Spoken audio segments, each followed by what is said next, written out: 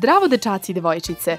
Ja sam Detana i danas ću vam ispričati jednu uzbudljivu priču koja se zove Sarina posebna beba. Zlatni stih iz prve Jovanove 4.7. Da ljubimo jedan drugoga jer je ljubav od Boga. Poruka današnje priče glasi Ljudi u hrišćanskim porodicama međusobno se vole. Da li voliš iznenađenja? Koje je najbolje iznenađenje koje ti je iko ikada priredio? Neko posebno iznenađenje. Nešto što nisi očekivao da će se desiti. Bog je Avramu i Sari dao nešto posebno. A Sara se nasmejala. Avram je tiho sedao u senci ispred svog šatora. Bilo je previše toplo, posebno za starog čoveka kao što je bio Avram. Posmatrao je pašnjake koji su se prostirali ispred njega.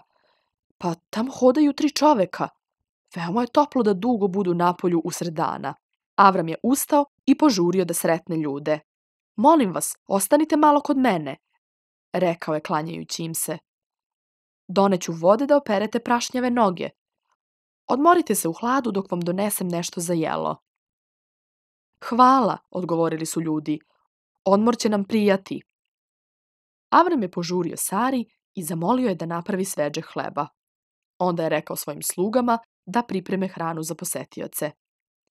Kada je hrana bila spremna, Avram ih je poslužio. Stajao je u blizini dok su ljudi jeli. Jedan čovek pogledao je Avrama. Avram to tad nije znao, ali taj čovek je bio gospod. Gde je Sara, tvoja žena? Upitao je čovek.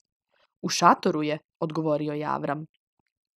Čovek je rekao Avramu, vratit ću se sledeće godine u ovo vreme. Tada ćete ti i tvoja žena imati sina. Sara je čula šta je čovek rekao i nasmejala se. Meni je 90 godina, pomislila je. Suviše sam stara da bih dobila bebu. Onda je gospod rekao Avramu. Zašto se Sara smeje? Zašto govori, suviše sam stara da dobijem bebu? Da li je gospodu nešto teško? Nije.